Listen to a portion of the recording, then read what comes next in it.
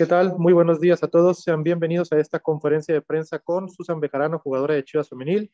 Les recordamos, por favor, a todos aquellos compañeros de los medios de comunicación que van a participar con pregunta, que enciendan su cámara eh, a la hora de que sean eh, requeridos para realizarle la pregunta a Susan. Y para comenzar con la ronda de preguntas, vamos con Blanca Ríos de Fox Sports. Adelante con tus preguntas, Blanca. Bienvenida. Muy buenas tardes. Gracias, muy buenas tardes. Susan, un placer saludarte. Pues preguntarte, ¿cómo ha sido tu regreso con Chivas y en qué nivel te sientes hoy después de tan larga lesión? Y si me permites, ¿cómo encarar este duelo ante Bravas con la ausencia de seleccionadas que pues han sido determinantes en los partidos? Muchas gracias.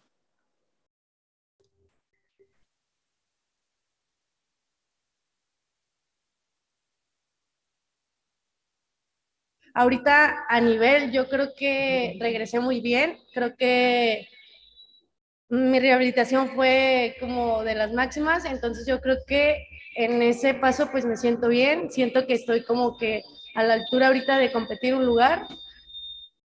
Y pues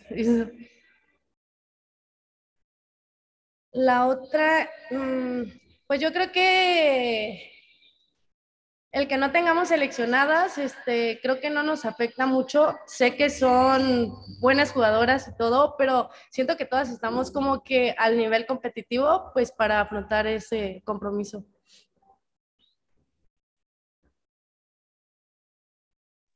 Gracias, Blanca. Ahora vamos con Rodrigo Camacho de Multimedios. Adelante con tus preguntas, Rodrigo. Bienvenido. Muy buenos días.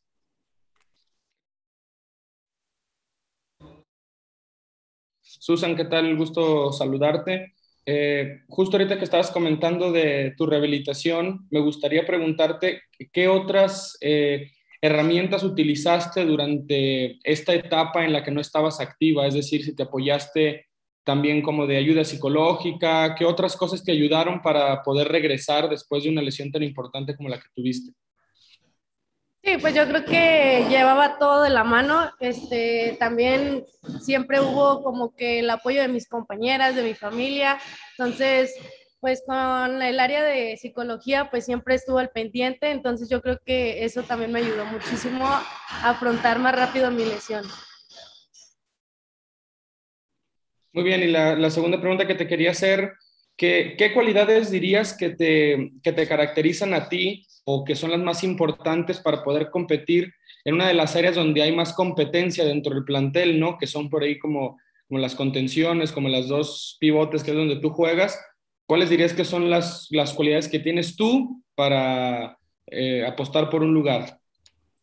No, pues yo creo que una de las cualidades es como tener la visión de campo, este, tener buenos recorridos, con y sin balón, entonces yo creo que eso es lo que me ayuda pues a estar.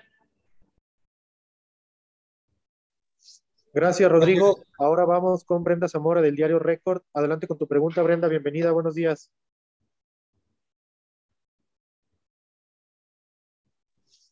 Eh, Brenda, ¿estás por ahí? Se me hace que no. Bueno, entonces vamos a pasar a la siguiente pregunta. Eh, vamos con Mónica Morales de las Musas del Balón. Adelante con tus preguntas, Mónica. Bienvenida, muy buenos días. Gracias. Buenos días, Susan. Te saluda Mónica Morales. Eh, Susan, preguntarte cómo se vive la competencia deportiva en el plantel. ¿Qué tanto te ha costado ganarte pues la confianza, ¿no? Del director técnico ahora en tu regreso. No, creo que esa parte, pues el DT es muy parejo en cuestión de nivel este, ahí sí se juega la que esté mejor. Entonces yo creo que el esforzarnos y todo, siento que es como que lo que nos ayuda a que el DT nos tenga confianza. Entonces, gracias, pues no sé, nos da muchas herramientas para nosotros ejecutarlas y yo creo que la que mejor lo ejecute es la que nos brinda la confianza. Gracias. Y una segunda, Susan, eh, ¿cómo encarar el partido ante Juárez, tomando en cuenta que, pues bueno, es el último lugar de la tabla general? Eh, ¿Cómo evitar caer en ese exceso de confianza, tomando en cuenta, pues, esta situación y lo que ya comentabas, ¿no? Las ausencias. ¿Cómo hay que encarar este encuentro? No, pues yo creo que es lo menos que podemos hacer, o sea, caer en confianza. Yo creo que ahorita el equipo está en meterle las ganas a pesar de que ahorita no tenemos a todas, yo creo que lo que vamos a dar es la exigencia de todos los entrenamientos. Yo creo que ahí sí no podemos caer en exceso de confianza porque creo que no nos lo permitiríamos nosotras mismas. Gracias. Gracias, Mónica. Gracias a ti. Ahora vamos con Citlali Medina de Grupo Reforma. Adelante con tu pregunta, Citlali. Bienvenida. Muy buenos días. Gracias, Javi. ¿Qué tal? Buenos días. Un gusto saludarlos. Hola, Susan. Eh, preguntarte en este caso, ¿no? Tú que eres de las pocas jugadoras que quedan de, de ese equipo eh, campeón en el primer torneo, ¿qué condiciones le ves a este plantel actual para pelear por ese segundo título en Chivas Femenil? Gracias. No, pues yo creo que el esfuerzo de, de, de querer estar, de querer permanecer en Chivas, yo creo que me ha ayudado mucho en estar yo creo que también no demerito a nadie, yo creo que también las que llegaron han reforzado muy bien el equipo, este, han, bueno, quedan varias de, también de campeonato, que digo, bueno, ahí está Pochelita, que le está metiendo las ganas, ha madurado muchísimo, entonces yo creo que juntando todo, tanto el apoyo de las que vienen, de las que estamos, yo creo que vamos buscando otra vez una final.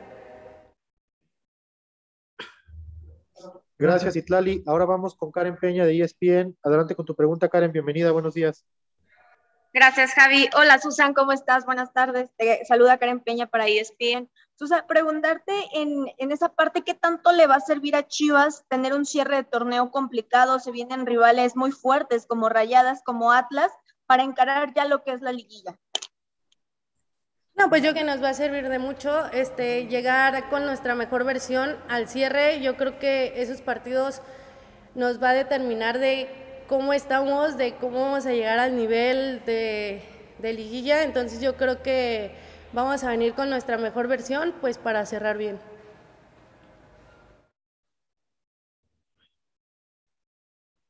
Gracias, Karen. Y por último, vamos a darle lectura a la pregunta de Brenda Zamora, que no se pudo conectar el equipo ha eh, superado varios récords este semestre y aún puede superar uno último, que es el de mejorar eh, su registro de puntos, que es de 38.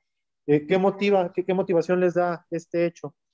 No, pues yo creo que no nos obsesionamos a, pues a tener un nuevo récord. Yo creo que bueno, al menos yo lo digo así, yo siento que no es como que algo que nos interese, yo creo que es el mejorar, el estar siempre, entonces yo creo que las cosas se dan o se ganan por como nosotros, nos, o sea, nosotros demostremos, entonces yo creo que por esa parte no lo tenemos tan presente en querer hacer un récord más, entonces yo creo que pues no, no estamos pensando en eso, pues estamos pensando en cerrar bien el torneo, en cerrar bien la liguilla, entonces estamos más basada en esa parte. Gracias a Susan Bejarano y a todos ustedes por haberse conectado a esta conferencia de prensa. En breve les compartiremos el video vía el grupo de Telegram. Que tengan buen día a todos. Hasta luego.